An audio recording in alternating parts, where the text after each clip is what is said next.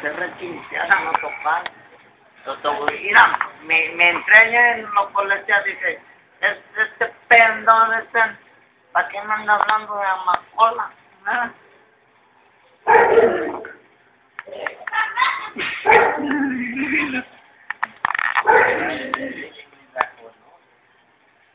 Adri.